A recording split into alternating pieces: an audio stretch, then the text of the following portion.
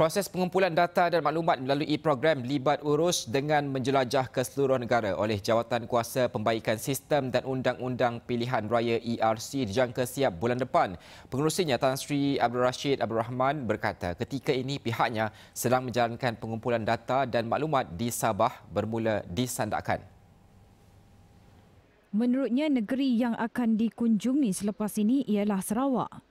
Bagi negeri Semenanjung pula hampir semuanya sudah dijelajah kecuali Kelantan, Terengganu dan Perlis. Ya, untuk ke Sabah dan Sarawak kita ke sini dulu sendakan. Lepas tu lusa kita uh, di Kota Kinabalu.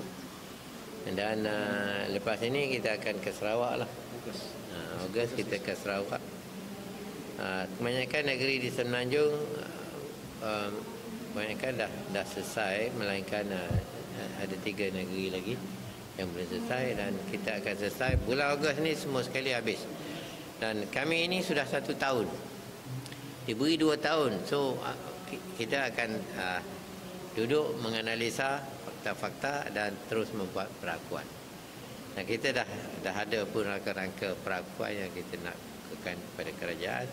Dan yang kita harap ialah uh, uh, ke semua rekomendasi kita dapat diterima di samping itu dapat di uh, put in practice ya dapat dilaksanakan uh, kalau tidak apa ni secara sekaligus semua sekali uh, secara uh, installment secara pelan-pelan ya uh.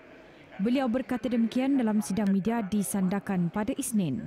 Jawatan kuasa itu diwujudkan pada Ogos tahun lalu untuk mencari cadangan reformasi sistem pilihan raya termasuk sudut perundangan. Ia bagi memastikan pilihan raya di negara ini bebas, telus dan adil.